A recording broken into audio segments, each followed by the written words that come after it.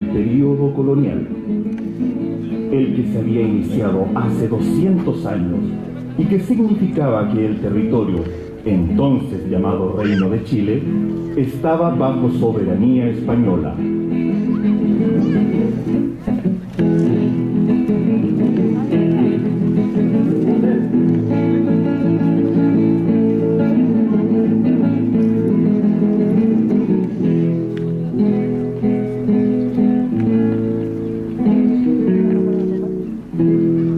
Tal como propone el general Breyer. Un asedio del moro, para luego asaltarlo y tomarlo por sorpresa.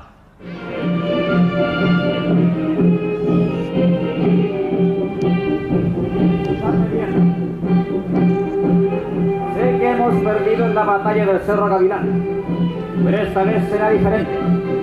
Hemos fortificado todo el morro tenemos empalizadas y un puente levadizo. Los patriotas se lanzaron al asalto.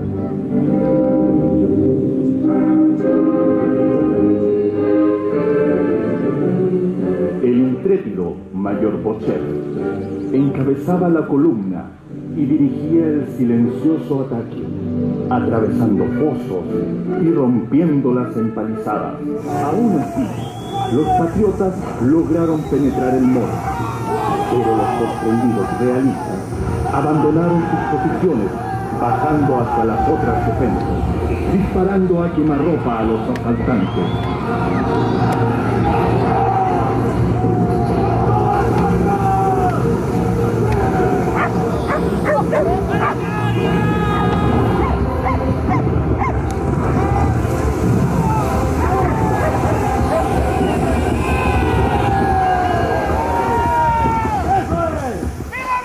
Thank